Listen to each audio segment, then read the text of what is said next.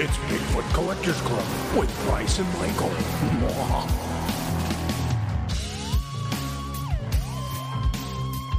I know a ghost story or two.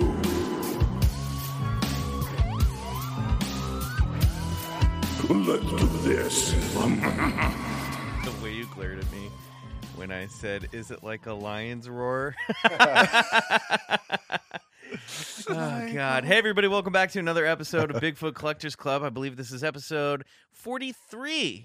Uh, and I'm your host, uh, Michael McMillian. With me always is your other host, Bryce Johnson. and our trusted producer. Riley Bray, and I think it's actually episode 53. No, it's not, sir. We have Are you not been sure about doing that? this for a year. Yeah, but we, we've doubled down episodes. Well, yes, but it's episode 43 because we count some of the other episodes, like our listener files, aren't numbered as they're numbered as L files. Oh, okay. So you're both All right. so we're both right. All Probably there are around 53 episodes, I think but there's like 220. I think there's like 760. We're Bigfoot Collectors Club from the future, Yeah. time You know you traveling know back. You, do, you do get an appreciation for those people who have like 400 episodes of their podcast. Oh, You're like, man. my God. Yeah. Word. I know. I was thinking about that the other day. I actually had the thought the other day. I was like, what have we done? My God, what have we done? Like we've started something that we will never end. I was like, Can't week stop now. after week after week. My wife might have a say about that. no, she has no say. We've been upset, possessed by the BCC Oh podcast monster. Um, wow. So we uh, have an amazing guest who uh, this week who's not in studio, but we just had a really great conversation with her. Uh, author Linda S. Godfrey is on the show today, and Yes. oh boy, you know if you've been listening to the show, you've been hearing me raving about her work before. Um, she wrote the book Monsters Among Us and uh, uh, American Monsters. She's a, she's the reporter who broke the story on the Beasts of Bray Road. If you haven't listened to that episode, go check that out. That was from uh, I think last February or, or March with uh, Kristen um, Bauer was in that episode. Our first official uh, cryptid investigator. Dude, we uh we're now a real uh, Legit. paranormal podcast. Cha-ching. We're official. We've got a real expert Yeah. on the show today. Yeah. And uh I mean and also our first remote interview, which was Yeah. very Yeah. exciting. We're growing. yeah, we're you growing, guys. We're becoming. We still don't have T-shirts, but uh, we will. We will. very soon. They're coming. Very, They're very coming. soon. They're we're working on it right now. Yeah. Uh, but yeah, I mean, how fun was that? I mean, That we'll, was we'll- awesome. we'll obviously cut to the interview in just a moment, but And it was our first Skype interview, so there was a few little uh, scratches and screeches, Beep, but boop, don't boop, don't mind those. We, we, uh, we, we plow right through 'em. Chewbacca ironed them out pretty quickly here, so don't worry about that. Uh, and it really- buffering. it was a great conversation just to be able to sit down. It's always great to be able to sit down. Uh, not that we don't love our actors and celebrities Mm-hmm. and musicians and writers who have great uh, personal paranormal uh, histories of their own, but to be able to sit down and talk to an expert and really be able to like speak the, ling- the lingo. Talk Dogman Shop. yeah, is so delicious. It is. Um, I mean, I I had a million questions going through my head. I want to be like, oh, I want to circle around back to that. Oh, I Yeah. can't. Uh, of course, we couldn't get to everything, but we have a good chunky interview with Linda S. Godfrey. Um, so why don't we play that for you now, and then we'll come back and guess what? We still have some high strangeness for you this week Yeah. uh, that Bryce has brought in. So Can't wait. enjoy our talk with Linda S. Godfrey, and we'll meet you back here after the break. Booyah.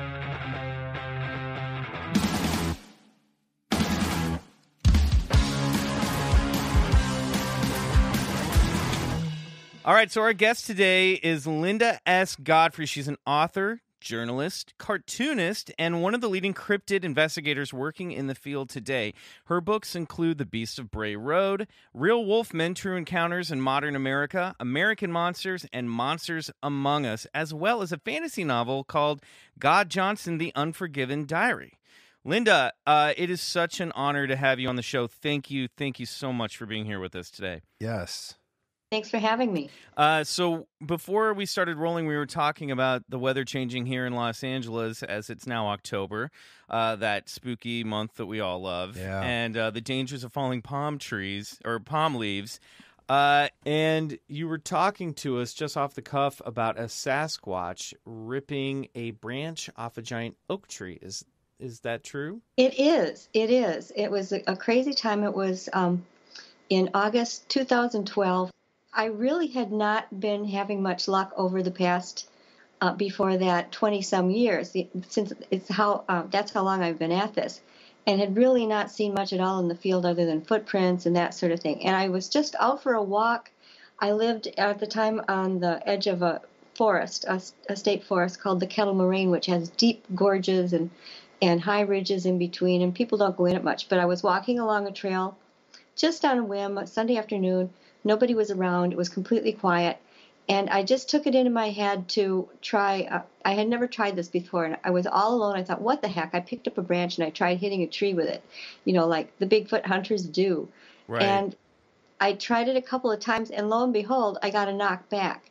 And the knock was from very, very close to me. And it was in an oak tree, a big old oak tree that was growing up out of one of these kettles or uh, little gorges, so that it was partly down in there and, and partly up over. And I was almost at eye level because it was growing from down below. Right. With with what I could see the leaves shaking, and I thought, well, that can't have just happened, you know. So I tried it again, and I got another knockback. And I mean, it was real. It was so close that if it had been a human and there, there weren't any people around at all and people don't go down into those kettles normally because they're full of brush and tangles and ticks you know and, and that kind of thing so um, i was starting to get a glimmer of, of what this might be that was doing it but i still i couldn't believe it you know i was just standing there in shock and disbelief plus i was all by myself right no, that was, that was my next right? thought Just you Yeah. and your 357 Magnum. yeah, I left it home that day. but uh, no, I, but I, I had to know because there were only two things that could grasp a branch. You know, you had to have an opposable thumb to hold Mhm. some an eight foot, or excuse me, eight. It was eight inches thick and thirty five feet long. This branch, I measured it later. And I, but it was huge, and the tree was so full of foliage. It was completely green. You know, there were no dead leaves on it. I knew it was living, whatever it was, or whatever, or whatever was doing this. Mhm. And I I hit it again, and this time instead of of uh, hitting the tree again, there was this huge crack sound, like when you hear it. Uh, well, maybe you don't hear this in LA very much, but you know when we have an ice storm and and the branches get too heavy, they just they crack and, and fall. yeah. I grew up in Kansas, so I know that sound. Yeah, so you know that. one. Yeah. So that's there was this this tearing, cracking sound, and again in total disbelief. I, you know, it, it, it was so surreal. It's hard to describe. It's like you you think you're in a dream, but you know you're not, or you're Yep. hoping you're in a dream. So I did it one more time, and that time the answer was to rip the rest of the branch completely from the tree, and whatever was doing it was hidden behind the leaves that there were so many of on that tree, and it threw it like 40 feet down to the bottom of that kettle. Whoa. And at that point, I I knew what it was. There was absolutely nothing else. Although I had a few questions in my mind as I'm running home as fast as I can. yeah, so I- you just you, you, did you you didn't hesitate. You just ran as soon as that tree branch flew. I mean, were you did you Yeah. Yeah. Wow.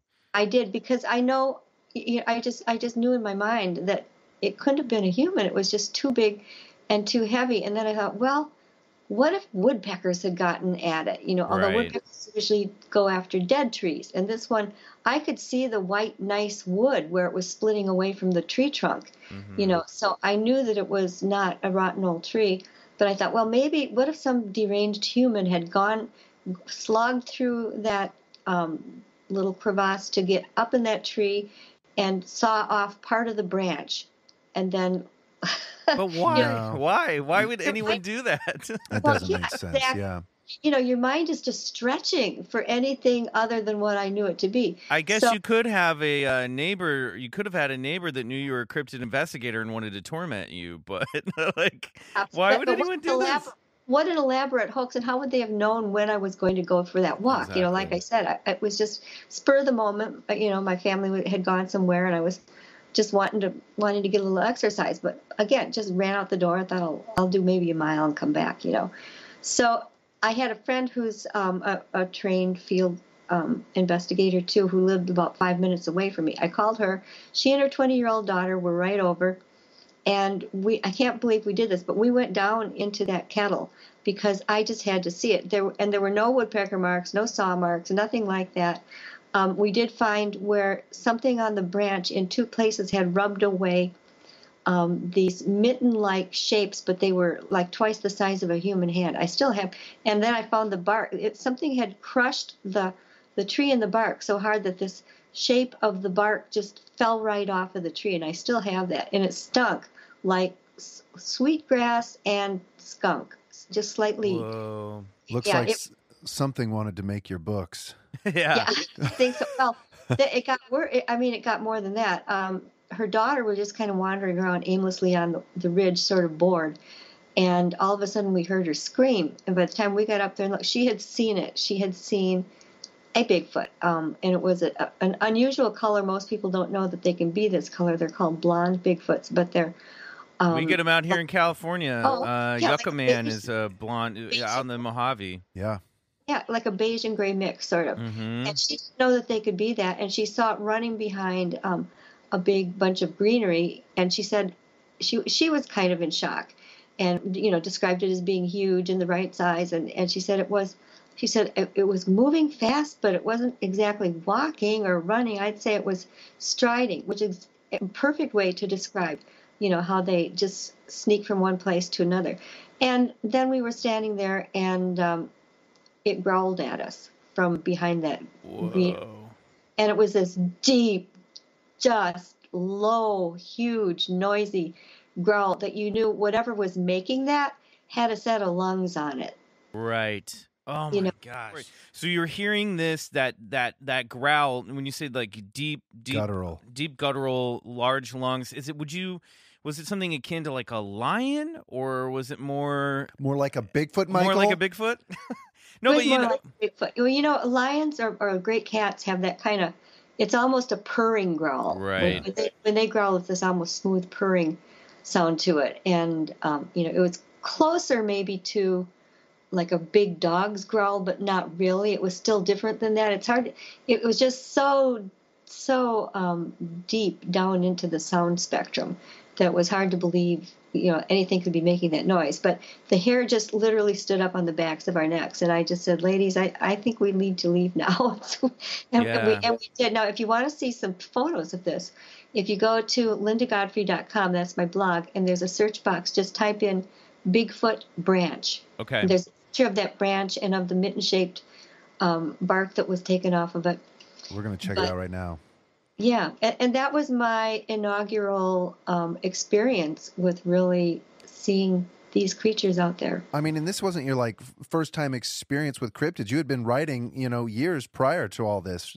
Well, and I'd been doing field work since the very beginning. You know, one of Right. the first things that happened was this other paper uh, wanted me to take a, a supermarket chicken, supermarket chicken and put it out in the ditch at Bray Road, where people had been seeing this upright uh, wolf-like creature. Oh yeah, I want to get into uh, Wow. into all that.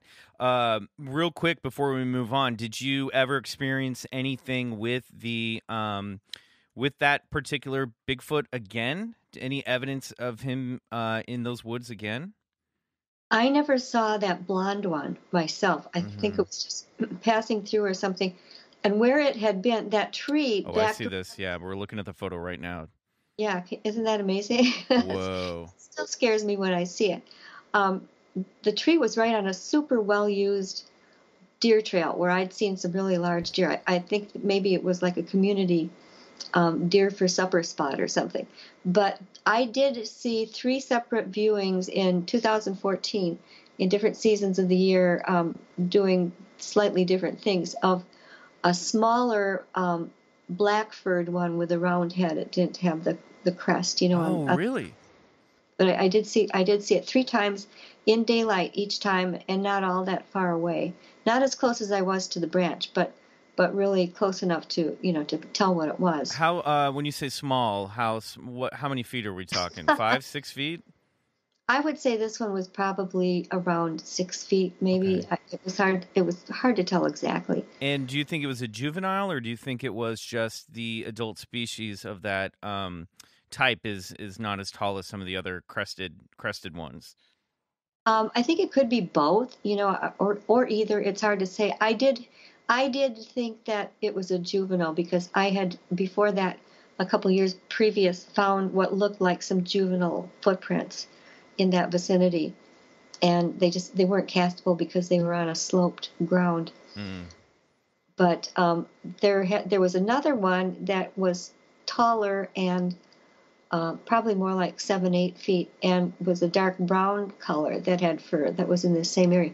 And I should preface all this by saying the southern unit of the Kettle Moraine State Forest has had sightings since the 1960s, Okay. and I've, I've documented a lot of them. So it's not like I was in, it was me in particular. It's just that I happened to be living right next to a really lively um, area for Bigfoot, and and once once I think most people live in those places, and if you're not thinking about them, if you're not tuned in, you would hear something and you would just put it off to another um, source and, and not think about it. Or you're not looking to the sides when you're driving, you're just looking like you should be straight ahead of the road. Right. Wow. Linda, let me double back on that real quick. You said it wasn't me in particular. Do you ever do you ever get the feeling or the sensation that uh, maybe there is something to uh, you and as an observer that might have attracted or um, you know uh, this type of sighting or anything like that? Do you ever feel like that uh, that, that that we can play a part into that, or was this just sort of a, a random happenstance? You just had to be at the right place at the right time. Um, I, I think it might have been a little bit of both, although what I think is that they're very tuned in to humans who are in whatever vicinity they're in because that's, you know, their, their lives sort of depend upon that. And there was a real interesting study a few years ago with crows, which are extremely intelligent birds, and it was proven that crows could follow certain humans and identify them when they came outside, especially if a human had had some, you know, treat or bread or something and put it down. Yeah, They- they remember faces. Exactly. They would know who those humans were. Fact, well, if a crow can do that, certainly a giant humanoid could do it. And I think what they would do would be to watch any humans that are in that vicinity. And then most of the time, like I kind of said earlier, humans are just let me get where I'm going. You know, I'm thinking about, you know, what I'm doing next. I'm going to the office. But, and they're not looking around or watching what's next to them. And when they see somebody who's walking, looking carefully, stopping at one of their footprints, looking around, looking up in the trees, um, they go, "Uh oh, yeah, we got a live one here." Wow. You know, and from then on, they might be more aware of you when you're there. You know, and and perhaps they've gotten to that point. I wish you could see the smile on Bryce's face right now, Linda. This is like his dream come true hearing this story. you know, I'm I'm very curious about your friend's twenty year old daughter. Like, was is she was she um was she Where are you thi- going with this? Oh, this, just give me a minute here. Is she, was she is she into this type of stuff, or was she a, a skeptic, or was she just there to help her mom out, or uh, how did that change or affect uh, what she saw and what she believed? Well, she was totally neutral. I mean, she really didn't know much about it, hadn't thought about it, and like you said, she was mostly there to help her mom out. You know, just to, um, you know, Sandra said, um, Sandra Schwab is is her name, and she said, "Well, you know, Natalie, there's something there, and why don't you come along?" I think. I think Sandra was a little nervous too because she could tell from my voice, and it's always a good idea to have three rather than two in my book when you're Mhm. doing something like that. So at least one of them would run for help. Yeah. Linda, do you, other one, sorry to do you do you think that one of these creatures would attack a human? Would hurt, hurt would have hurt you guys? Um, I think if we had persisted and gotten aggressive acting or um, had seemed like we were going to threaten it in some way, there's always that potentiality, you know. And I, I tell people because people say, well, what do I do if I see one? You know, should I run up to it, shake its hand? Should I run the other way? You know, and I said, well, what you what I think is that since they appear to be some sort of animal, well, in the case of Bigfoot, I really think they're a type of human. Mm, that was my next question.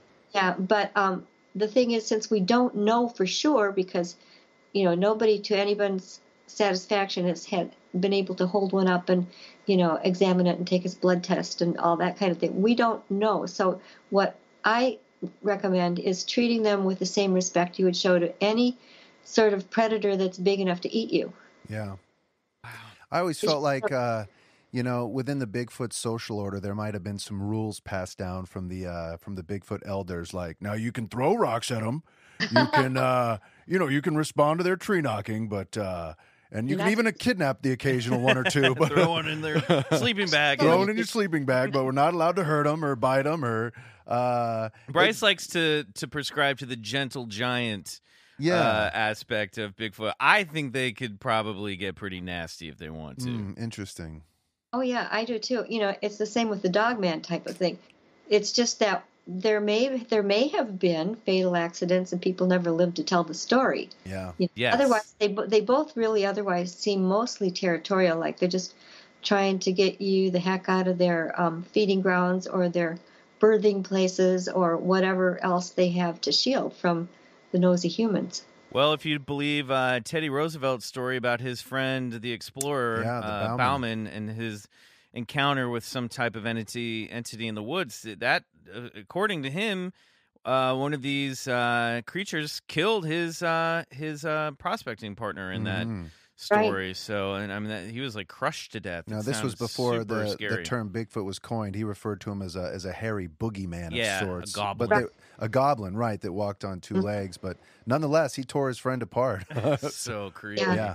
And Well- dogs don't hesitate for dogs or anything that really is threatening to them. I mean, they're they're not different than us. They're not going to lie down and be shot or killed or whatever we want to do to them just so we can examine their bodies. Right, right. So listen, uh, we can't talk to you without talking about dogmen. You already brought them up, and I don't even know where to begin because I love dogs, but I thought that this phenomenon was honestly, I thought it was a joke until I read your book, Monsters Among Us, and I read your research on the Beasts of Bray Road, and now dogmen for me have jumped to the top of my favorite cryptid. Your cryptid yeah, food chain. like I love these stories. They are so compelling. They are so fascinating.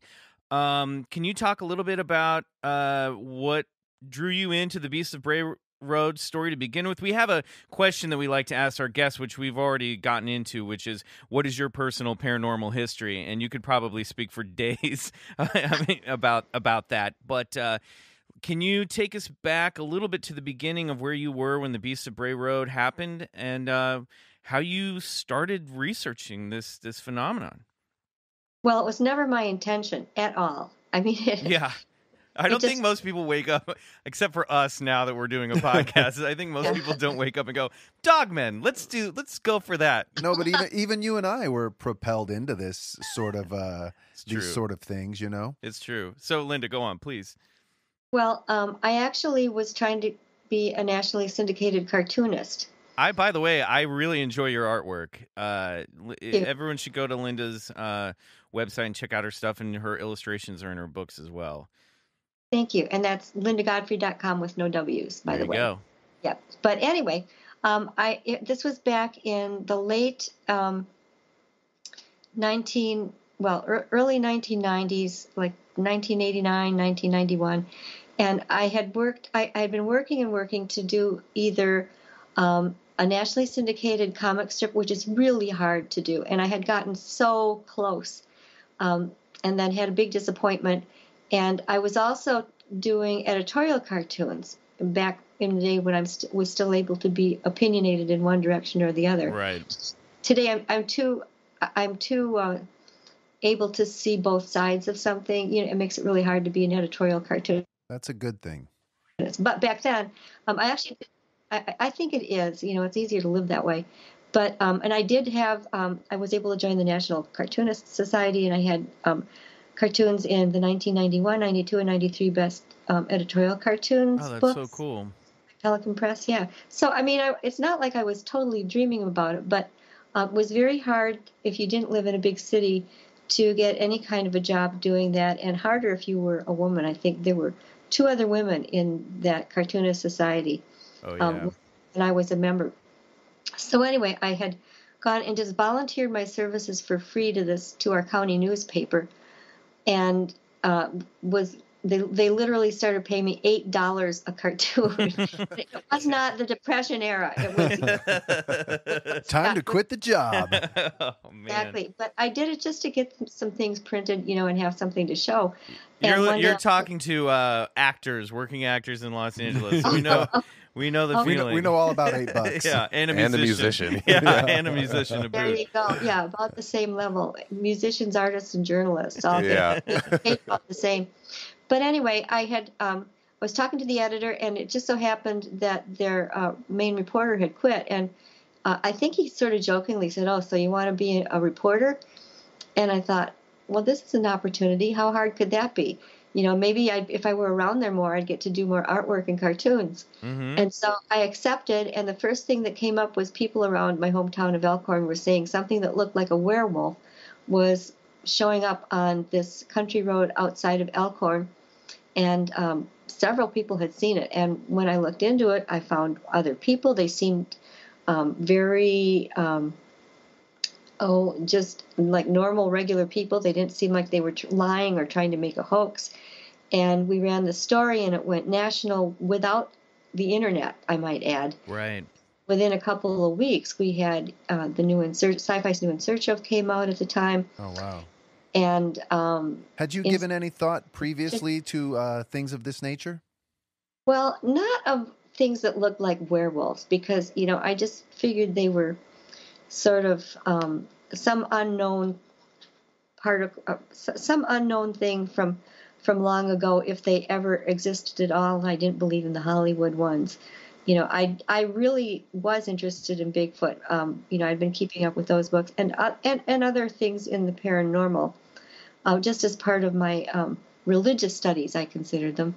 Mhm. So, so I had kind of a mind toward that way, but I did not think, and I still don't think, that these upright canines with wolf-like features were werewolves. That you know, humans turning into wolves and the full moon and all that. That's, that's what- mostly That's what I think of when I think of a werewolf. Is it's somebody? It's a human that transforms Full into. moon, silver bullet. Yeah. So wh- Right. how how do you categorize the? You call them upright canines, um, dogmen. How how how do you categorize them? And what is their relationship to something like Bigfoot?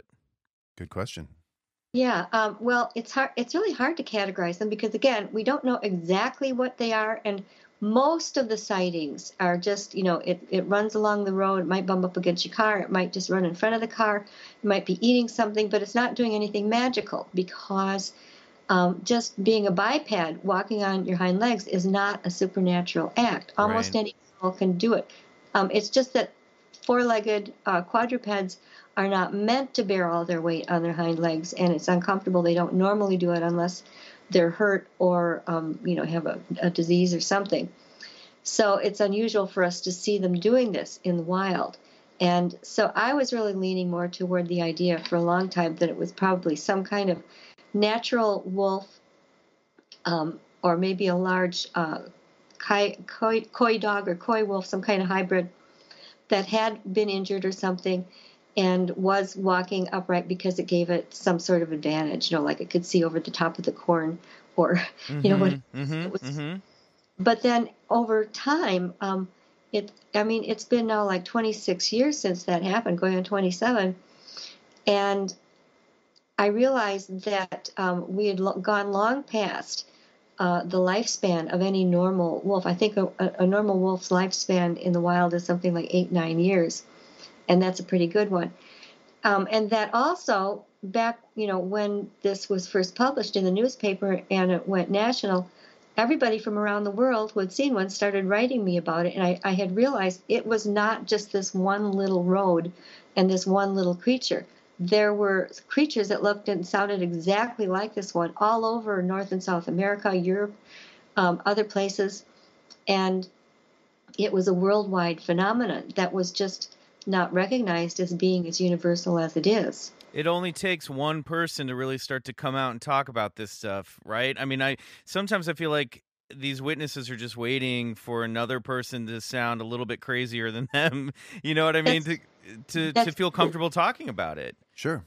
That's true. And people are still, I mean, I still to this day will get messages from people saying, I saw this thing 20 years ago. I never knew what it was. I thought I was crazy. Then I saw you on TV. So I'm writing to you and, and uh, hoping you can tell me what it is. Well, I, I, I still don't claim to be able to do that. But, you know, there just are so many associations. And there are other things that look like upright canines that Right. that seem to have more of a paranormal cast to them, or Right. you know, you get into like the Native American skinwalker things, or um, others that may be um, may have to do with with certain rites or psychological abilities, that kind of thing.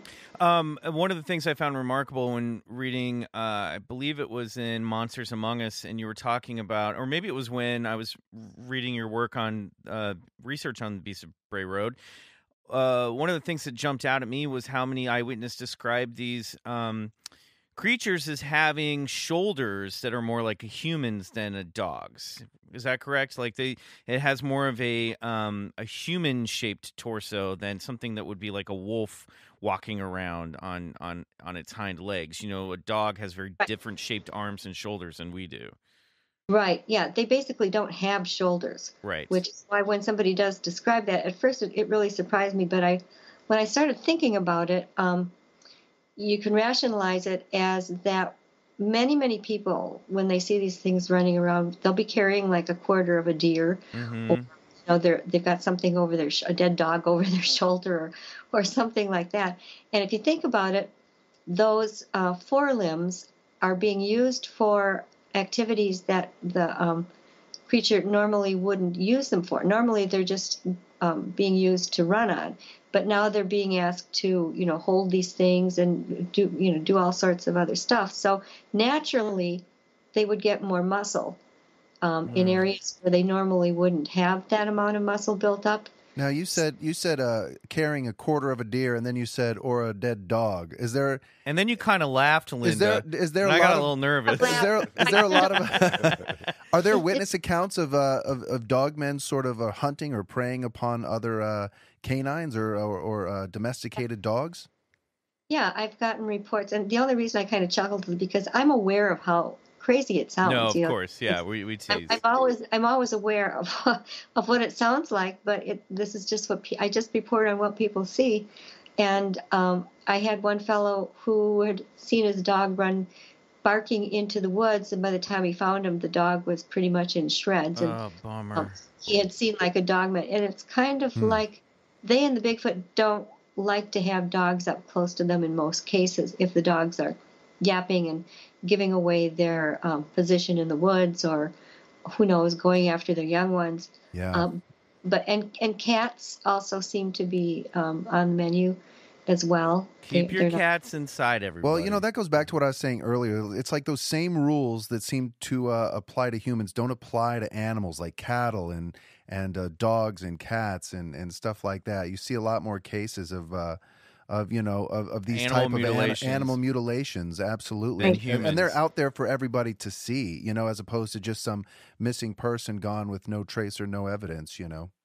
right Linda, didn't uh, correct me if I'm wrong. In one of the original eyewitness accounts of the Beast of Bray Road, didn't one of the um, drivers who saw the beast on the side of the road in a ditch wasn't he carrying like some fish in his hands or some type of food, some type of animal?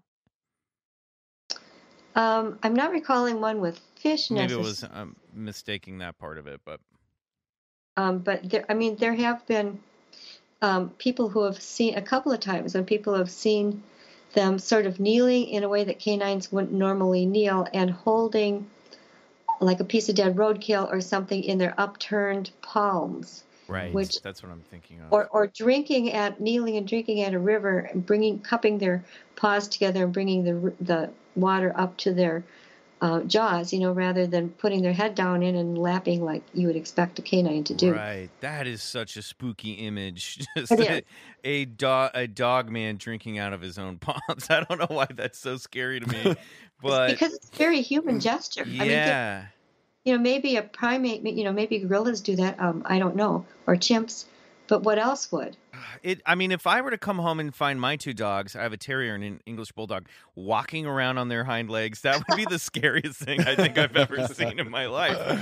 Um, so what what is the um what's the Michigan Dog Man? Uh, what what's what's kind of the uh, one liner on that? Um, because I was trying to do some research on it, and I've I, I I came across some stuff that said that it was actually the Michigan Dog Man was something that a radio host wrote a, a kind of a gag song about, but since then, or even before then, people were actually seeing an upright uh, canine in Michigan.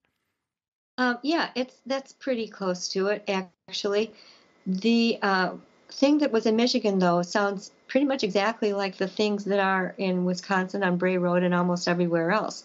Ninety percent of the sightings are of this large wolf-like upright creature that can and they can i should add they can drop down and run on all fours still too you know they, they don't have to be on their um, hind legs and a lot of witnesses will either see them trotting along on their hind legs and then they drop down to all four when they see they're being watched or they're on all fours and they stand up to menace and be aggressive toward whoever's looking at them. So mm. they can be seen both ways. But but yeah, this was back in 1987 before the Beast of Bray Road. It just never went national or got really known much outside the state of Michigan. And this Traverse City DJ um, thought he would make a CD for um, to, to raise funds for an animal shelter. And he was kind of a musician, so he wrote this kind of ballad like song and called the, the Dog Man. Actually, he called it The Legend but it was about the dog man, and, which was kind of an old lumber camp um, so called myth from that state. Right. And he said he took a few old lumber camp stories that he'd heard of. And then there had been something interesting on the news that I think inspired him toward this end, where there was a, a house in Luther. They call it a cabin, but I've been there. It's a little two story house with, with siding um, on the outskirts of town, where they had seen uh, scratches like seven feet up on the siding, and there were large dog tracks all around on the ground below it. So that one he put in it, and then he made some up. You know, he just made when he ran out of things, he he made a made a few of them up, and uh, then he played it on April Fool's Day in 1987 because it was supposed to come out on the seventh year of every decade. That was okay. the that was the deal. And when he played it, you know, he was kind of tongue in cheek and he was expecting people to be yucking it up. And instead, people were calling and saying, hey, that dog man is no joke. I saw him, or my, wow. grandpappy saw him, or, you know, it's out there in the woods and it's real. And, and he was rather taken aback. But then it just came out more and more. So when the Beast of Bray Road went national, he actually contacted me. And yeah, they had had like a, a dog man art contest and you know, we're really playing it up a lot more than than I ever did with with the Beast because um, he kept it as sort of a, a money raising thing for this right. in, in Traverse City, but it was mostly like the one that we had in the way people would describe it, what they had seen. So. Hmm. Um, it's it's pretty universal, and then there are also the universal mag- so-called magical types that are different that have the shoulders they'll usually have red eye shine instead of uh, the normal green yellow uh, that canines have. Are those the ones that are described with having like almost German Shepherd heads with the tall, pointy ears like a German Shepherd? Well, the German Shepherd is uh, is one of the universal terms, the and the tall, pointy ears. But you do what these other ones often have. They're very often um, pitch black furred, and then besides on top of the pointy ears, they have tufts of hair or the ears are taller, like they'll say it looked like Anubis. Right. You mm-hmm. the Egyptian god of the dead, where it looks like it has a, a black furred jackal head and then either a human body or um, a human like. Um, are they flesh and blood, or are those supposed to be more like shadow creatures? Um, I I think those are probably not flesh and blood because they appear suddenly inside people's bedrooms and then walk right. back to the wall oh, and do other strange, creepy things. So wow. I, I, think there's something other than the normal uh, wolf-looking ones that just walk on their hind legs and leer or sneer or or um, jeer at people, depending on which word they, they choose. That's how they describe it. So, I mean, yeah, yeah, this is where it just gets interesting and and and and confusing for me because it's like, I mean, do we lump all these sort of creatures into the paranormal field because you know there's there's cases of Bigfoots you know uh transversing through walls too and showing up in people's bedrooms Right. and communicating psychically to them. I mean, Right. are, are there are there different categorizations in your mind that like, hey, you know, here's some flesh and blood Bigfoot that uh, you know that can't uh, you know go through walls and then there's the type that can and then here's dogmen that can't and here's dogmen that can or do you think this is all part of some bigger paranormal phenomenon Right. You know, and that is it's that's one of the biggest bugaboos. And I mean, you can drive yourself crazy thinking, okay, this one can do that, that can't. You know, there must be 47 varieties, and and there are. Um, I mean, I think I could point out, you know, at least five or six different um, sorts of them. I, I don't want to call them species because that Right. would, you know, they're all animals. But I think that the Native American people I've talked to have the paradigm that best fits all of the reports which is that it's not an either or, it's more like a sliding scale. And it's that they originally come out of what they call the spirit world. We might call it another dimension, another realm, something like that, another universe. And that they can enter our world most of the time. They believe these um, passages or portals are in running water, um, bubbling creek springs, that kind of thing is, is the best place where they come from. They can come here, and when they're here, um, most of the time they're entirely corporeal. Their bodies function. You know, they eat, they um, digest, they have, they procreate, do all these things. But they can, at times, for different reasons we probably don't understand well yet, um, can be sort of partially in one world and partially in our world at the same time. And that's when you get these kind of spooky sightings. And that when they really want to, they can go back to that spirit world. Hmm. That's And it- fascinating. It, it is fascinating because it's the only thing that really fits what everybody in Toto describes. Well, Right. and I say, and I, and and you know, to that I could say you can flip the other side of the coin, and there's experiences with humans where you know we live in this corporal corporeal world, but then at this time, um, you know, the veil gets lighter, and then you know, certain individuals seems to pass through to this other side as well, you know, um, and then come back. So it seems to be. Yeah, it's it. I, I don't know how to explain it. It's just it's all very strange, and I I think what you were saying about those you know Native American legends, uh, they seem to have a real good grasp on it. Not only because you know they don't treat it as some sort of teenage taboo. This is Right. something that's mythologized to them, and it's and it's real as much as it is as they would describe an eagle and and, and its nest. You know, this isn't just Right. part of their you know um, spiritual lore. This you know they take this stuff at face value, and then and then they pass it down. So. Um, yeah, that's wild. Yeah, it, and it's well, you know, I think of it this way too. I mean, when you get down to the real nitty gritty of what we are, we're made of um, waves and particles, Yeah. you know, and, and atoms, and which are affected by electromagnetic fields. Mm-hmm. Electromagnet electromagnetic fields are not just it's not not just like one electromagnetic vibration.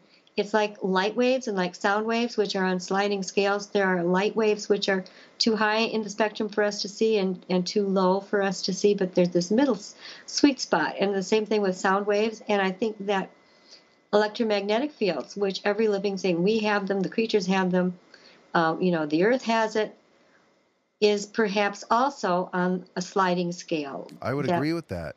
Do you do you Yeah. think that our consciousness plays the part of the tuner in some sense of the word? Yes. Like Yes. our, our awareness of these things and our, our, our openness to them, and not only that, but our our focusing in on on these types Yes. of phenomenon actually can sort of turn that dial for us.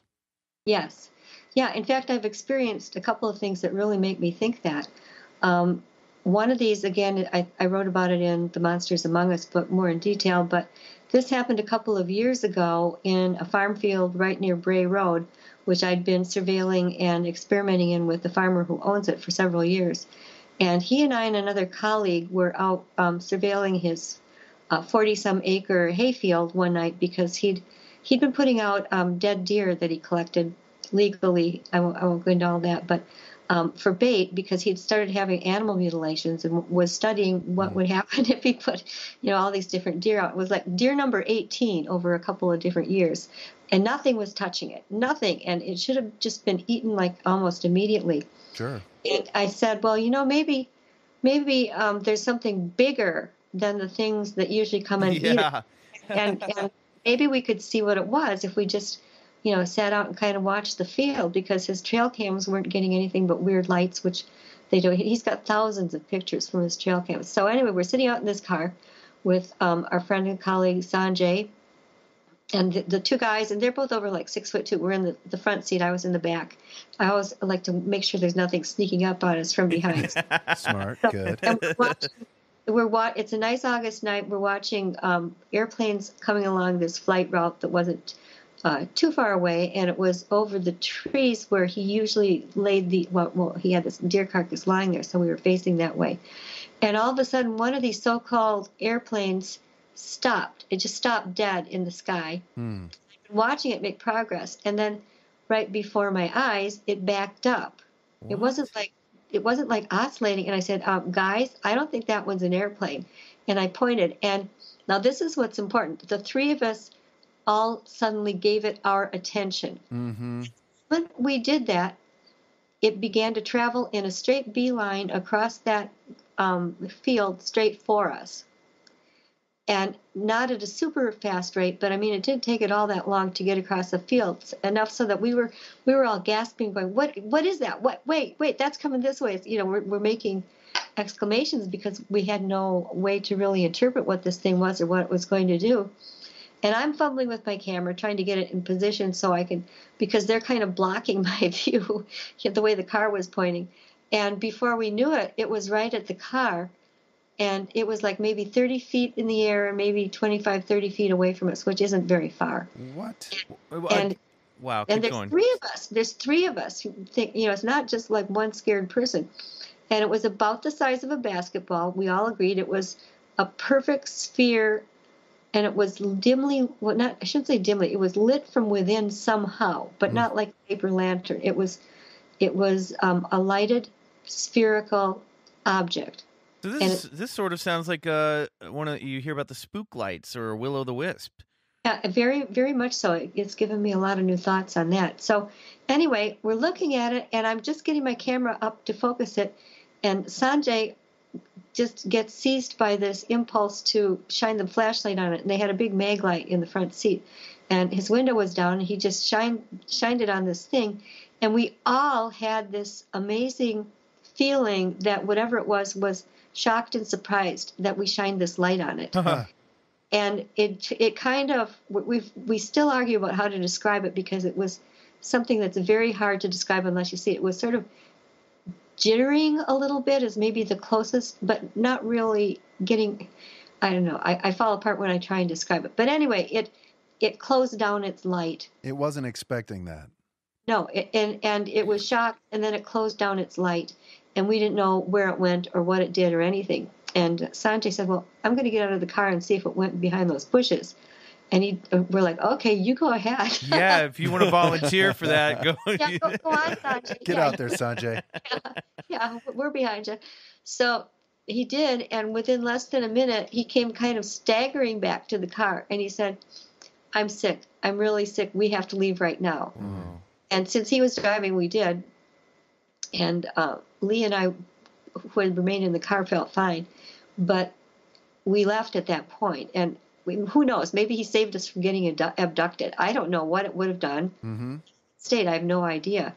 But the thing is, it was when we all put our consciousness upon it Sure. and, and looked at it and were observing it that that is when it made its move and made it its way across the field toward us. Well, so so wild, we've isn't it? we've had uh, guests on this show actually um, talk about similar experiences. One involving a black triangle UFO that she and her mother, when she was a child, observed from a distance, and as soon as they were focusing on it, it zoomed towards them and hovered over them uh, before disappearing into the night sky. right. What, Yeah. what what do you make of that, Linda? That's I mean, it's amazing. I What- think that they somehow uh, sense our consciousness and interact with it, you know, and we have electromagnetic fields. We Yeah. have, you know, some people divide our inner selves up into different types of, of, of bodies, and somehow they're attuned to that.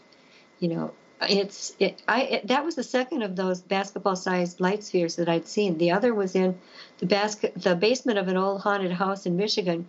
No, thank you. It was seven feet away from me, hovering just below the ceiling. It, it materialized. There was supposed to have been a ghost they called Basement Billy in Michigan That because sounds like something out of Ghostbusters. it does. And he lived in the basement. He he supposedly died of diphtheria when he was a teenager in that house, and people would see him out in the parking lot wearing this these uh, you know late 1800s clothes, and the owner knew of that too. Well, here's the interesting thing: we both saw Basement Billy, but all I saw was a lighted sphere, and what she saw was the full blown figure of this young man.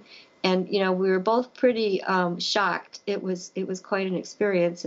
All I wanted to do was get upstairs. Wow. Well, that's a Um, clue. That's a clue to like l- to.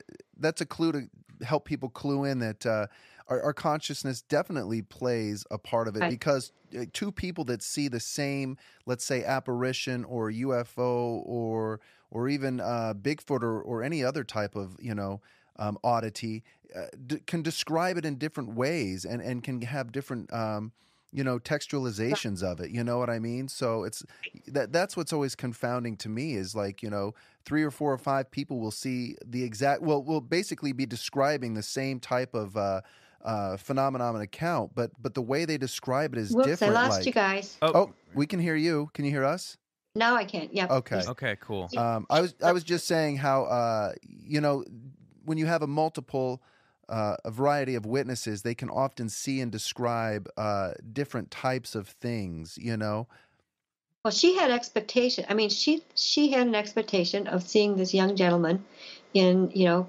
dressed in clothing, and I had no expectation. hmm And most of the time, when you, I was taking photos for my um, my Weird Michigan book, and so I Mhm. had lots of haunted places. I had to go and take a picture, and almost always you go up there, you go through the motions, nothing shows up, you take a picture of nothing, and then you leave. This time, I still didn't get a picture because I was too shocked to actually even press the shutter on my camera, which I had hanging around my neck and ready to go. Um, but the thing was, she was expecting a certain thing, and I was expecting nothing, and that's whatever it was interacted with our consciousness to show us. yeah, Well, and it's not even Linda. I don't even think it's limited to human consciousness either. Um, I've told this story uh, a few times on the show, but a couple summers ago, I woke up in the middle of the night about 4 a.m. and my dog, my English bulldog Albie, was growling in the living room, and I came out into my living room, and while the curtains were drawn, um, there's some. Uh, on the ground floor window in the living room, uh, peering into my apartment uh, in the direction of my dog, I could see the silhouette of an entity that looked like a classic alien gray. And Yeah. and then my other dog, who had shot out of bed once she heard him growling, she saw it too, and they were going crazy. And I, you know, I had just run out there, uh, sort of like when you were on your walk. I had just run out there to to to to hush them up because it was so late. I was not expecting to see something through the, you know, peering through the Yeah. curtains. Uh, you know, and within 10 seconds I was, you know, I was like, "Oh my god, I saw it turn its head. I could see where this long thin neck fused at the base at the back of of the entity's um skull. Uh, and I turned on my light and was startled and it and it disappeared. It ran off. Um, and my next door neighbor actually came out onto the driveway and said that he eh, you know asking me what was up and uh, and he said that he had felt like he'd been been uh had been wa- being watched for the past hour uh, he was up late watching tv um so th- so animals see these things too i mean I-, I don't know if my dogs also saw what looked like a classic alien gray but that was the furthest thing on from my mind when i encountered this thing some something Wow. has entered the physical world. well, and that was my and and Linda, maybe you'll agree. I mean, my I I tend to feel like you have to trust your instincts when you're one of when you're an eyewitness. You kind of have to rely on your gut feeling about what you're seeing. And my gut instinct told me that it was something that slipped in from another realm and was passing through, and I happened to catch a glimpse of it. Uh, but it was something that I wasn't supposed to to see. Yeah. Oh, that sounds about right. You know, it's wild. I mean, you were talking about uh, you know the expectations of what we see, and and you know, hearing these stories of these uh, these bipedal canines, and, and and to be honest, you know, the legend of Dogman has really kind of come up to the surface in the in the last decade or so, and it's very analogous to uh, you know to the after the Patterson Gimlin film footage, I mean, the sightings of Bigfoot kind of just skyrocketed. You know what I mean? And maybe Right. it's because people's attention were more aware of it and and their expectations they had. Um, and it's also like you know your uncovering of the or the, the beast of Bray Road. Since I, I think that's kind of the integral one here. It seems to be that Dogman has really resurfaced into the into the minds of the general public and and because of that we are seeing and people are spotting more and more of these creatures in and around the world Uh, would you would you think that kind of rings true Yeah, I really, really do. You know, and it's I'd say it's even maybe just the last four or five years. mm-hmm. Dogman thing has gotten kind of big. For a long time, I was kind of like the lone voice in the wilderness, right man, you know, and people are saying, no, there's no such thing as Dogman. It's a snouted Bigfoot. Or, uh, you know, they would, it, nobody was accepting it until the critical number of witnesses just grew to such a proportion that people almost had to start paying attention. And it was allowing so many others who'd been living with these things they'd seen, you know, 20, 30, some even more than that years ago and didn't know what to do with them or where where do you file something like that in, in your mind, you know, and and so they were coming forth. And I think and I still get there's still people, you know, who are just becoming aware that it's a thing now. Well, you know, they I- can report it. I think Linda, uh, you you uh, deserve a lot of credit for that. I mean, like I said, going into reading your books as a skeptic, you really made a believer out of me. I mean, I certainly don't know what it is exactly, uh, but um, you you bring a lot of credibility to to these people's stories, and I'm it's one of the one of the numerous reasons why I really appreciate and am a fan of your of your work. So. yeah hats off to you for yeah, sure Thank you so much. Um, before we go, and we don't want to keep you too much longer, um, uh, what when you know you were talking real i want to circle back to something you said a few minutes ago about portals and and bodies of water because you've you've written about how a lot of these things happen a lot of these sightings occur not only around creeks or i think you know lakes you maybe even even said but where you have dogmen you tend to have uh, bigfoot or a green mist or these orbs or ufo sightings. Uh, skinwalker ranch is obviously a good example of that. And sounds like wisconsin has some crazy stuff going on as well. Um, does. What's the relationship, um, if you could, between nature? What role does nature play in these sort of pockets pl- of, of land? Play with um, eh, eh, how do how do they interact with these these various types of creatures that we encounter?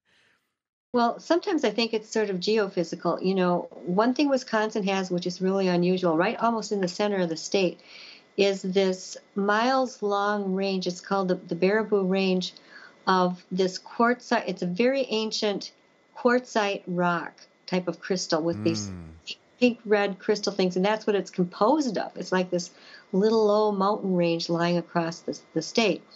And right near there, you have uh, lots of concentrations of the um, the ancient animal-shaped effigy mounds, which, by the way, 96% of ancient animal-shaped effigy mounds, that means like they're not necessarily burial, some are just ceremonial, are in southern Wisconsin wow if you can imagine. And when the first settlers came, southern Wisconsin was almost like this magically transformed park where everything was mowed, these um, huge um, animal shaped mounds, which they, they weren't real high. They were maybe three feet tall or, or not much more than that at the most, but some were like 160 feet across in the shape of, there were man shaped ones, um, the thunderbird, various, all kinds of different animals, very stylized, but they weren't crude. They were beautifully made, and many of them persist today. The ones that weren't plowed under or whatever, we we have parks that save some of them. But imagine all of that going on, in, and they're considered very very sacred by almost all the tribes in the area today. Although people think that it was probably ancestors of the Ho Chunk uh, that actually constructed them. They're about 1,200 years old, most of them, and you think all of that is there, and then we also have the lake formations and the proximity to the Great Lakes and lots of rivers and things that go through, and the the geology is just sort of there for that amplification of whatever. I hate to say vibes, you know, it dates me. Mhm. It's old, but but you words sort of fail, you know, at least when you're um, a layman trying to talk about these these concepts um, that could have some sort of effect on electromagnetic fields. And actually, the book I'm writing right now, I actually found somebody who who backs that up with some studies of how, how animals are affected by by that sort of thing, and and the the electromagnetic fields of so many things are affected by what's in the ground underneath.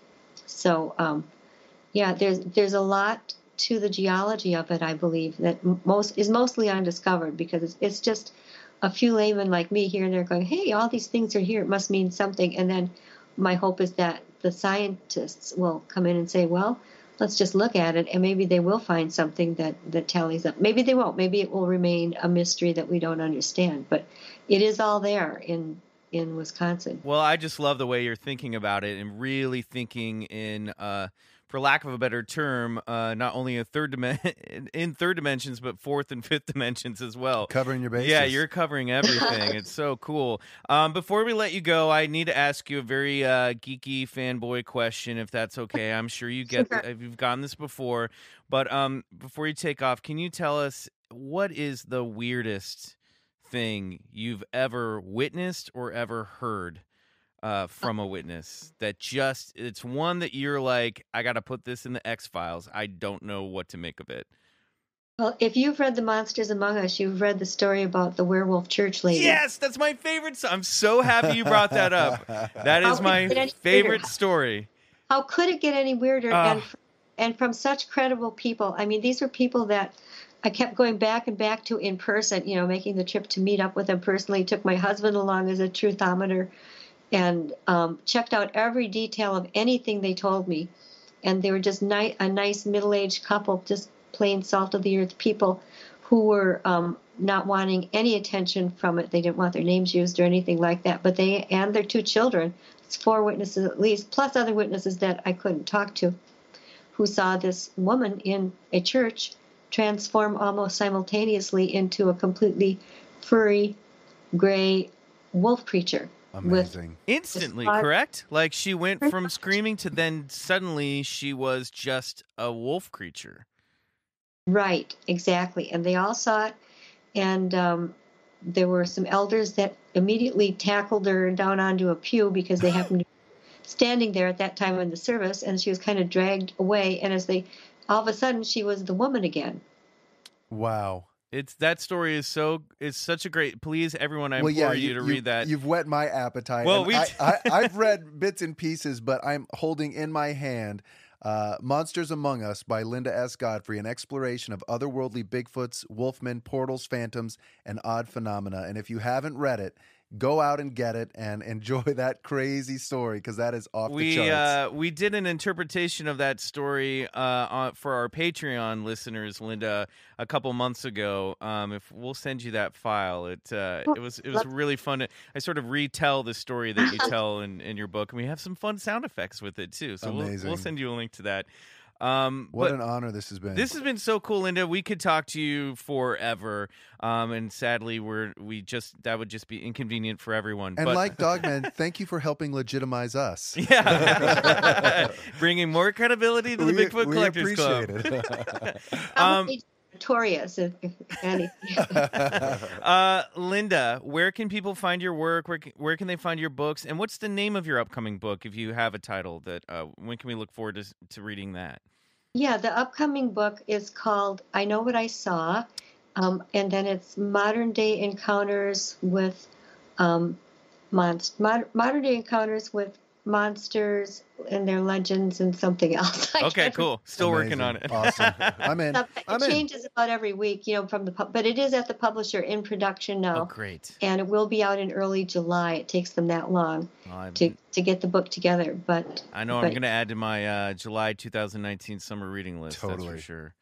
thank you. And and your website once again is lindagodfrey.com. No Great. W's, just linda, G-O-D-F-R-E-Y dot com. And it's got pretty much everything. Just navigate your way around. There's a search bar and all that kind of stuff. Yeah, it's a great website. I've uh, I've spent uh, many many a time there. So Mhm, I, I'm I, you know, I really am such a, and and I think I speak for the guys as well. We're big fans of yours, Linda.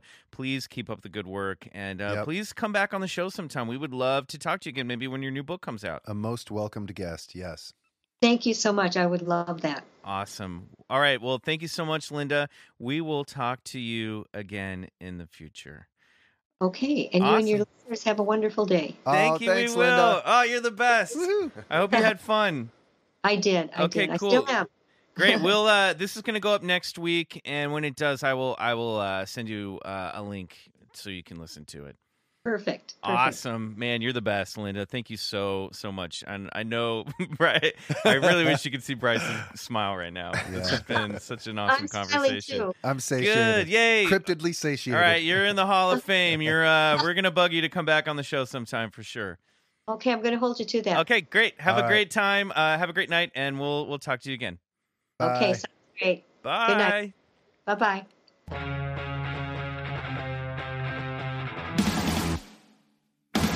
And we're back, and it's time for high strangeness. But first, how great was that interview with Linda? Phenomenal. Gosh, Mm-hmm.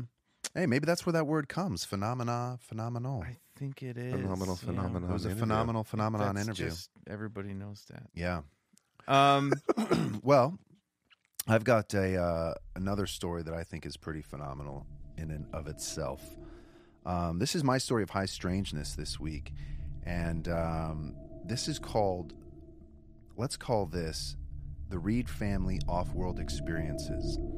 Are you familiar with Thomas Reed and his case of abduction? this is sounding familiar, but it's Mhm. not jumping off uh, off the top of my head. No, If if it sounds familiar, it's probably because um, it this- happened to me.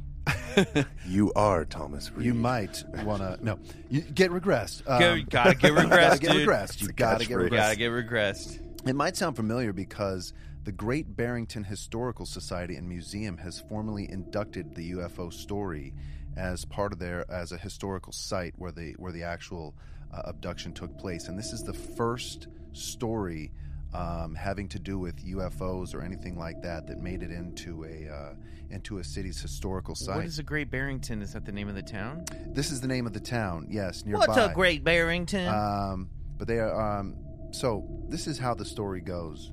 In 1966, a six-year-old Thomas Reed and his younger brother um, Matthew Reed um, were in his bedroom on his family's horse farm in the Berkshires when this first encounter begins. Basically, they were in their bedroom when Thomas says, you know, they're just kind of fooling around. They're on a they're on a bunk bed, and you know, they're just talking to each other, and and uh, and this kind of orb suddenly, you know, they felt the kind of temperature and the barometric pe- pressure kind of just drop.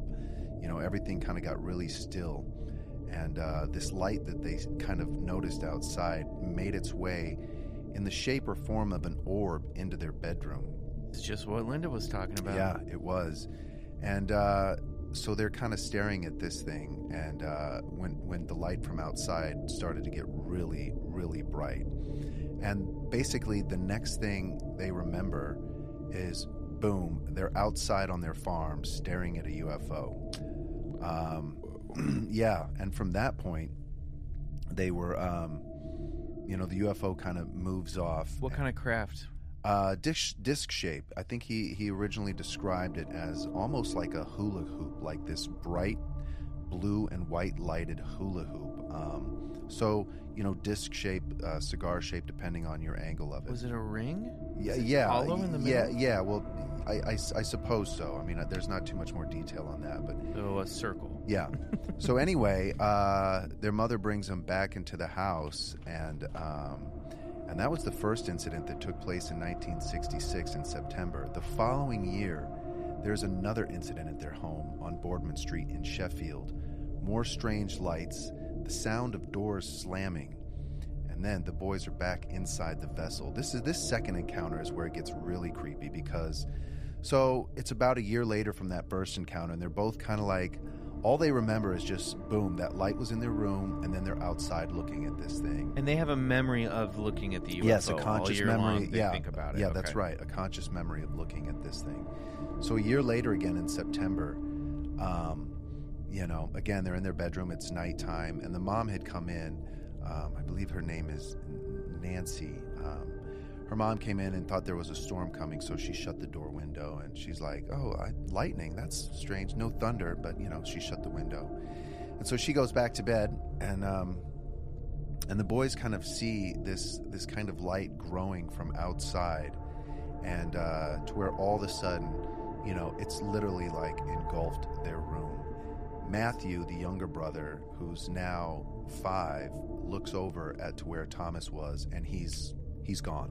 He's not there. And so Matthew, the younger brother, runs to go get his mom, and their grandmother lived with them too. Um, you know, so it was the grandma, mom, and the two boys.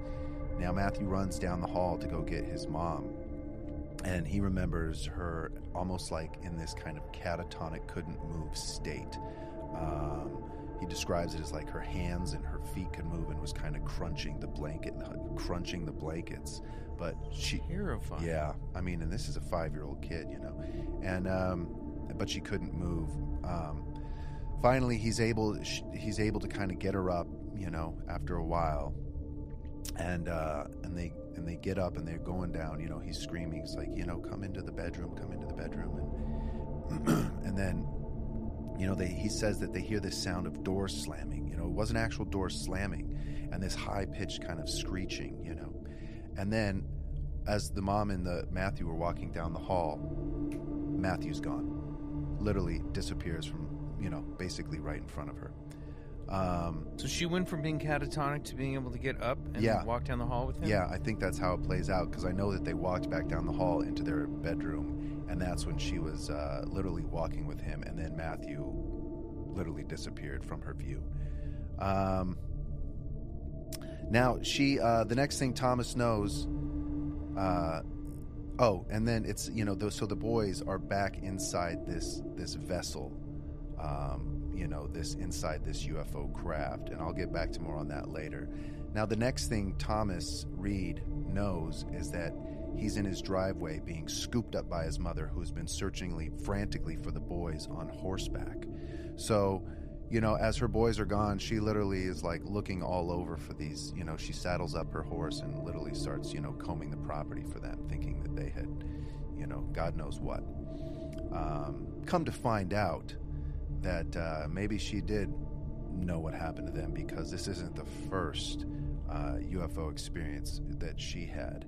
In 1954, I believe was the year, and when she was in Maine with a friend, her and her friend spotted um, a UFO literally right overhead of them, and uh, so she had a history, you know, um, before her boys were even born, you know, of seeing a large lighted craft uh, with with somebody next to her.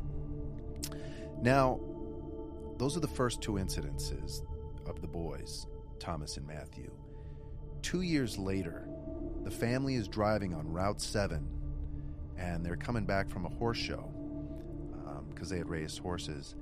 And they're basically going through this, uh, what's called Sheffield Bridge. You ever seen bridges in Madison County? You know those kind of really quaint little I've bridges? seen it Mhm. 300 times. Well, it, imagine this little bridge. It's a, like a little carport bridge that uh, that goes kind of one of over. those a- little barn looking yeah, bridges. that's exactly right. That just goes over a small creek. Now, as they're going into this bridge, you know, the grandma who's in the passenger seat, the mom is driving. Um, you know, the grandma turns around because Thomas had given his younger brother Matthew a fireball, and she was going to say, you know, don't be careful, he could choke. And when she sees this kind of large, kind of lighted area through the woods, which she described later as like a lighted strip mall. So as they're going through the bridge, you know, Thomas Reed remembers these lights kind of engulfing the the bridge, coming through the cracks underneath the floor. And as they exit the uh, uh, this bridge, it's a small bridge, only about like 30 feet. And they get out, and the car suddenly stalls. It just pulls over on the side of the road, and and what he says is like the barometric pressure drops again, so much so that it gets so silent that the sounds of cricket and cicadas, I, is that how you say- Cicadas. cicadas, um, just became um, voluminous in volume. Like it was almost like you know, um, That's super loud. super loud, but also at the same time super quiet. And uh, and then, so basically, the light is as they as they exit the bridge. Now, let me get back real a couple seconds here. Before they stall, they both look over. They get past the bridge. They look over and they see this kind of like spherical craft. Um, almost like with lights coming out from underneath it, almost like in the shape of a of an ice cream cone, you know. Um, and they're driving, and it's following along parallel with them, you know. And this is this is kind of around dusk, around nighttime, when all of a sudden this this spherical lighted object veers right in front of their car, and that's when the thing stalled out, and you know. now the next thing that these this whole family remembers is boom. Well, Thomas Reed has a conscious memory of after that. Um, next thing he knows, he's in this large hangar. He describes it as this, like, you know, large kind of metallic hangar, just huge. And he could hear the muffled sounds of his of his mom and his grandma, you know, kind of screaming for him, which is, you know, just awful if you think about it. Um, I'd rather not. I know, I know. So, but then the next thing that happened uh, is he remembers being kind of grabbed by his left arm and taken to this, you know, to this kind of what this room where he was laid on a table, which we hear so so many times before, and kind of he was put in this cage as he described it, like like they kind of like covered his body, and um, and these these weird this weird kind of creature that he described that sort of looked like an ant. It had like a football shaped head, teardrop, bamboo stick type legs. Whoa.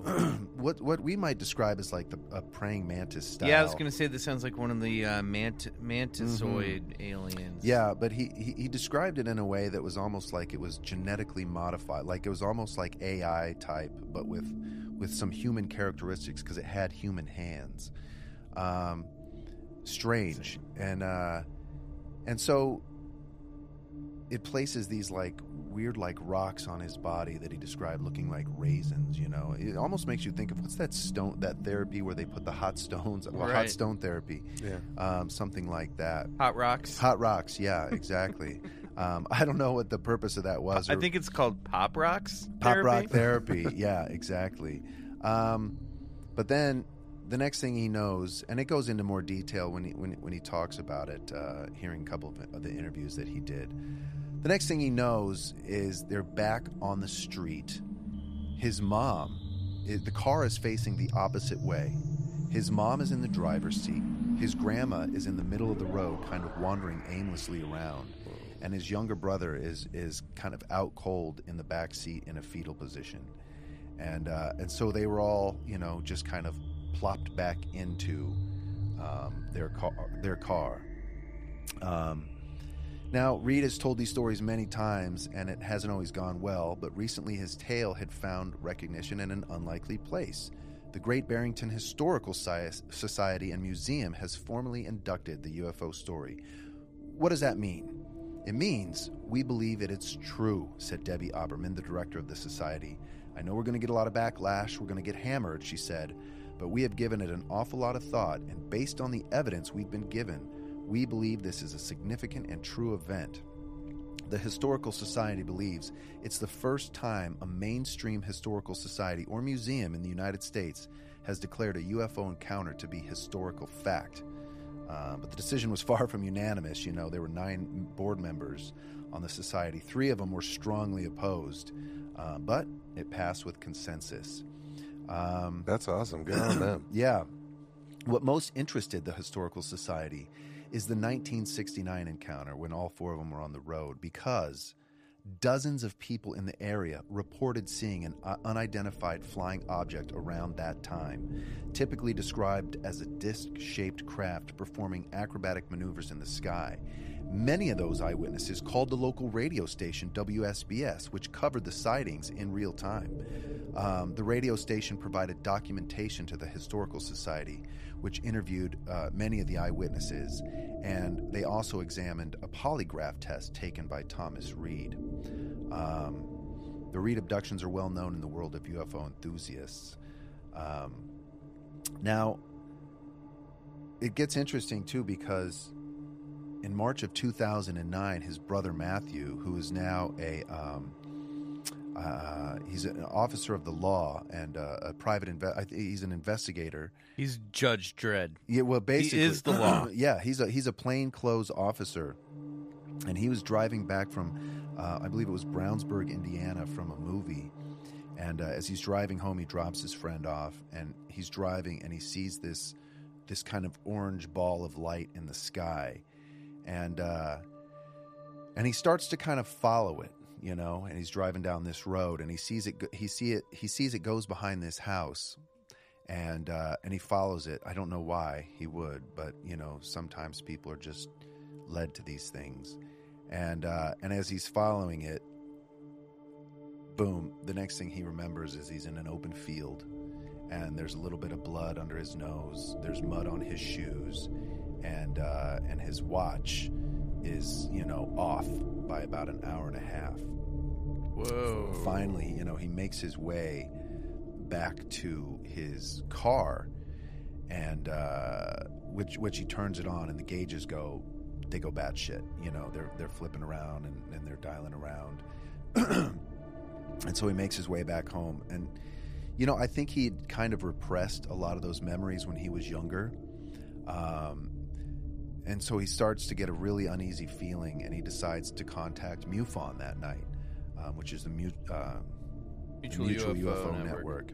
Um, and they and they they hear his tale, and they bring out a um, a licensed investigator, uh, Steve White, I believe is his name. That yes, a detective with 30 years of experience.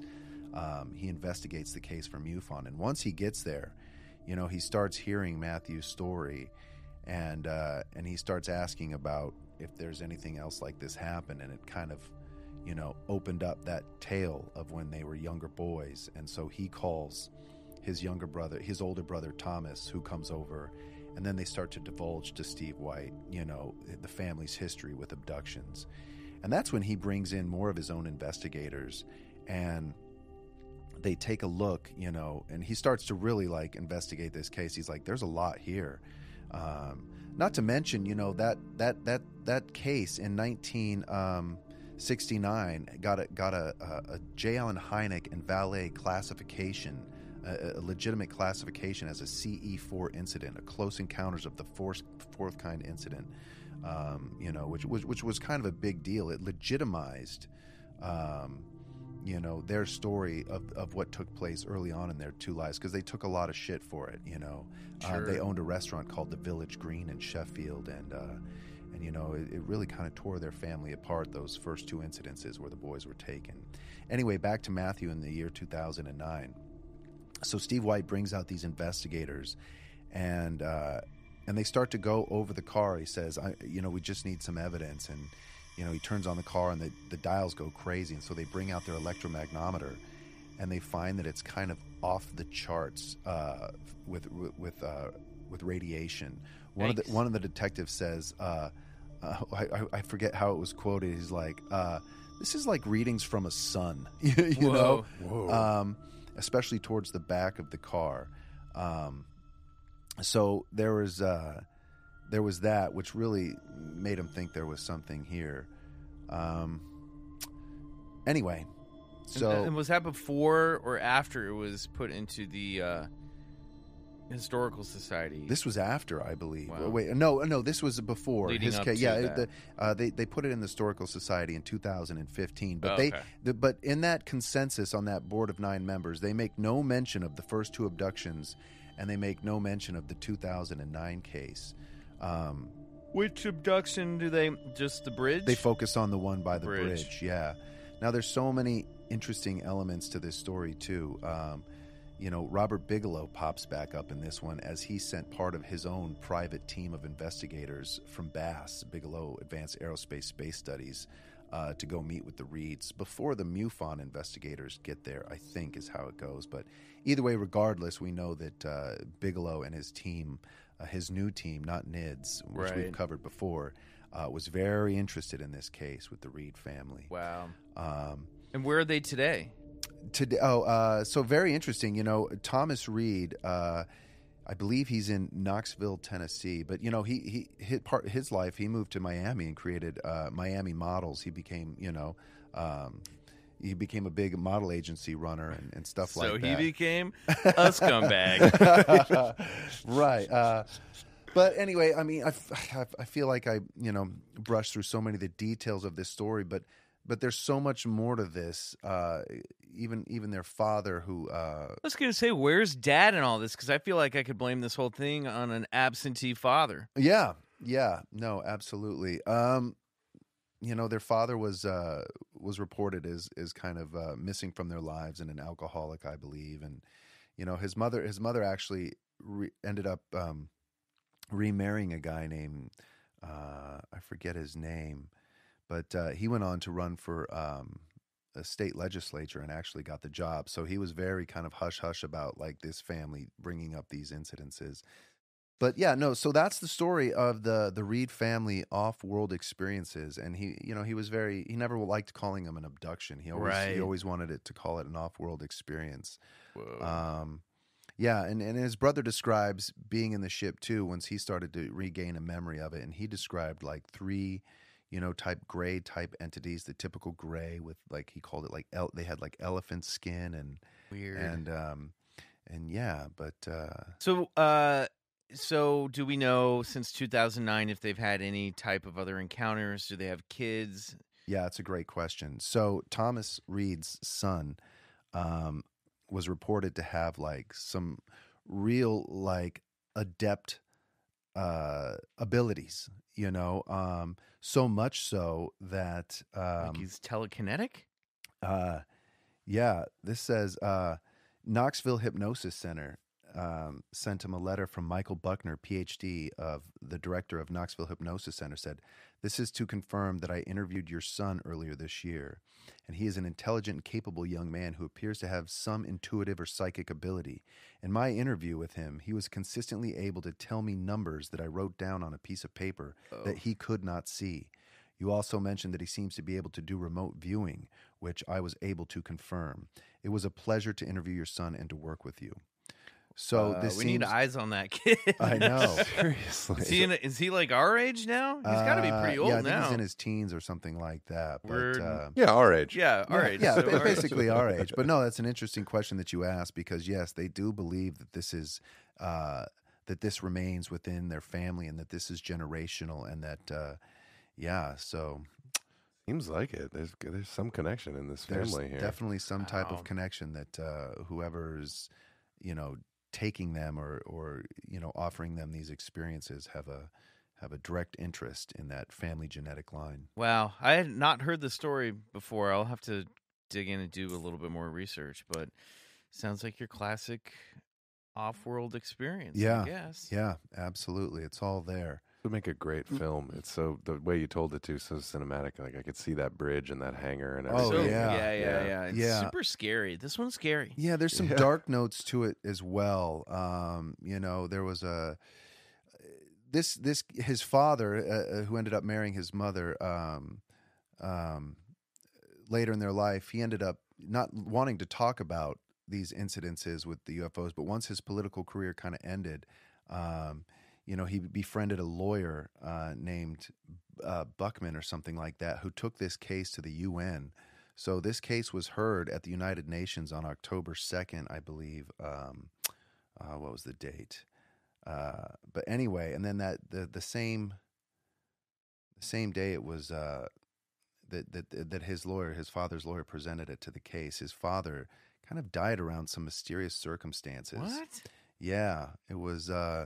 He died of. Uh, oh God! Now this is where I wish I had my notes, but uh, some sort of uh, Legionnaire's disease or something like that, and they Hmm. comb- they combed his office and they found like f- new ceiling tiles, and in the vent they found like this empty vial. What? Yeah, so it's like there's some foul play um, type things happening in this one. Some conspiracy theories Uh, oh, baked here we into go. this one. Yeah, Here we go. Uh, in 2006, Howard was the guy's name, voiced his interest in a collective book project on the family's experiences with vessels and other life forms, to include a compilation of sensitive material gathered over the years.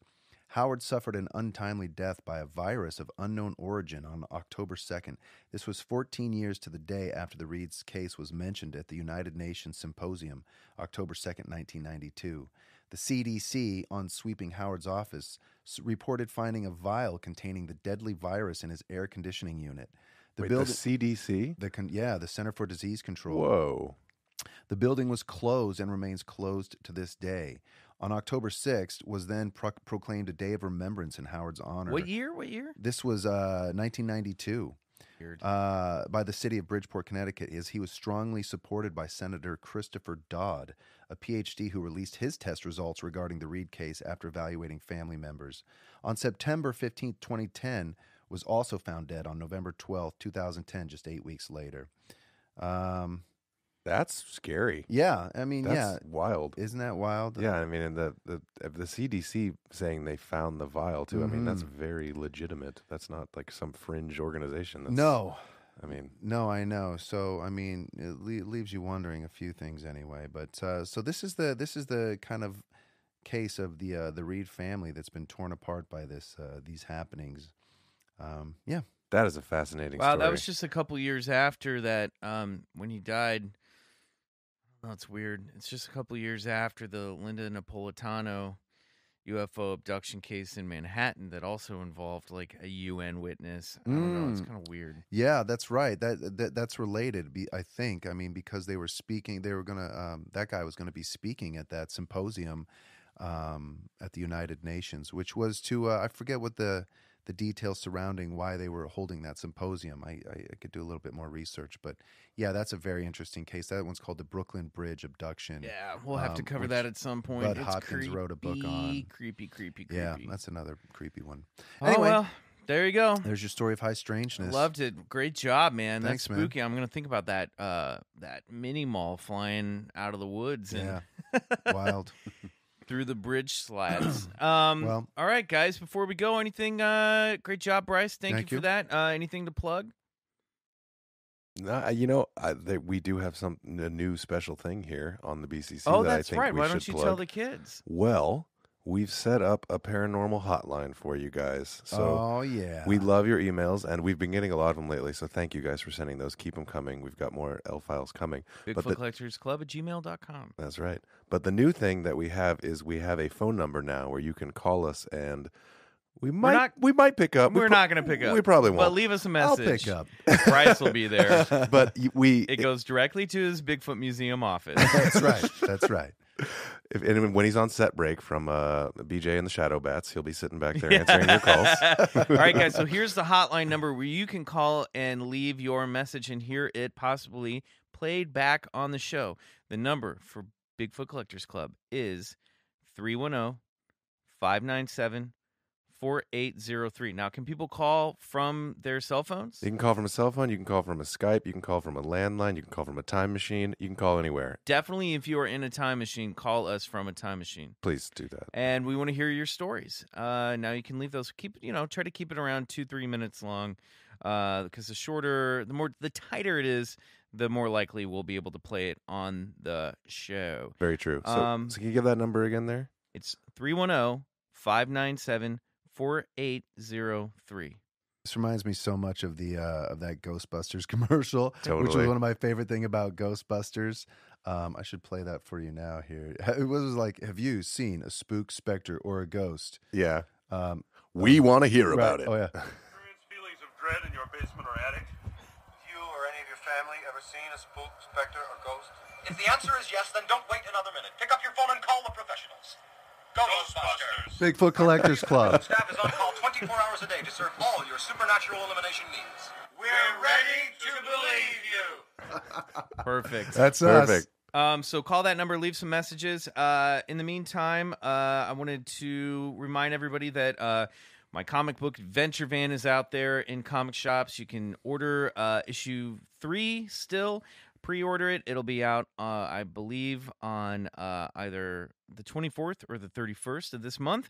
Um, also, uh, Crazy Ex Girlfriend is coming back this week as you listen to this uh, Friday, October 12th. And uh, I'm not in the first episode, but I'll be in it shortly. So enjoy that. And uh, until then, we remain Bigfoot Collectors Club. I want to thank uh, Linda S. Godfrey one last time for being an amazing guest. That Absolutely. incredible. Um, and I wish we could have heard her opinions on that um, high strangeness We'll story. have to but bring her back. We'll have to bring her back and talk more about all this stuff. I'm looking forward to that new book. Um, definitely go out and check out her work. It is it's some of the best written uh, cryptid investigation um, material I've ever read. So it's it's really fun too. Awesome. Agreed. Check that stuff out. All right, guys. All right. We'll see you See you next next week week. Bye. Bye, bye, bye.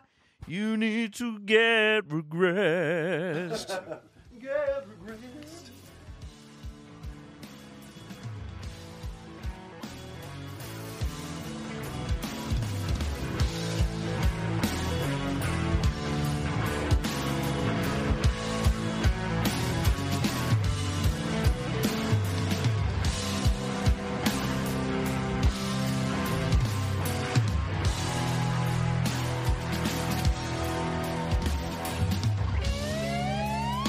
Collectors Club is produced by Riley Bray.